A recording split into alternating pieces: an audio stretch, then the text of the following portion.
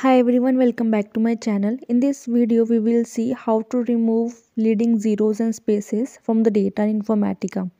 Use ltrim function if we want to remove leading zeros and spaces from the column. You have to write ltrim in the bracket column name comma 0 so it will remove all the leading zeros from the column. I am mentioning all the syntax of the functions. If you want to remove only leading zeros then you have to use ltrim column name comma 0 if you want to remove only leading spaces, then you have to use ltrim in the bracket only the column name. Basically, ltrim is a function to remove leading zeros and spaces and rtrim is a function to remove trailing zeros and spaces. You can use both together also. If we will use both together ltrim rtrim column name, then it will remove leading and trailing spaces from the column. If we will use ltrim rtrim column name comma 0, then it will remove leading and trailing zeros from the column.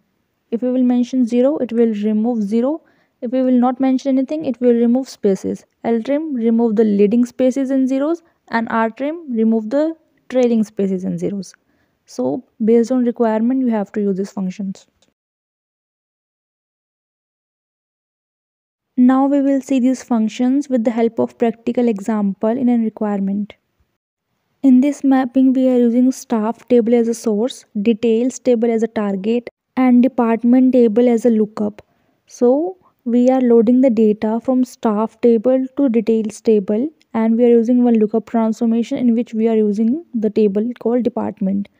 You can see we are having three columns in the source ID, name and department ID. In the targets we are having three columns ID, name and department name so we want department name instead of department id so here we have used department table as a lookup. So if the department id from the source will match with the department id from the lookup then department name we are getting from this lookup and we are populating into the target table.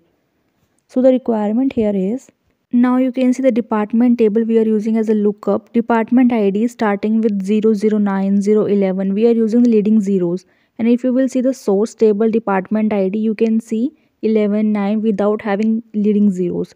So if we are using lookup then it won't match the condition because of the leading zeros. Here i'm going to create one more expression transformation between the lookup table and the target table. Here i will drag and drop id and name column. And what i'm going to do is i will open the lookup. In the lookup query what i'm going to do is i will use ltrim function for the department id because lookup table is having leading zeros in the department id column. So i will use ltrim function so that it will remove the leading zeros from the department id and it will match the condition. So ltrim department dot department id comma 0 so it will remove all the leading zeros having in the department id now it will match the condition. I will map the columns and save the changes. In the workflow manager, I will refresh mapping. I will validate the workflow and I will start this session.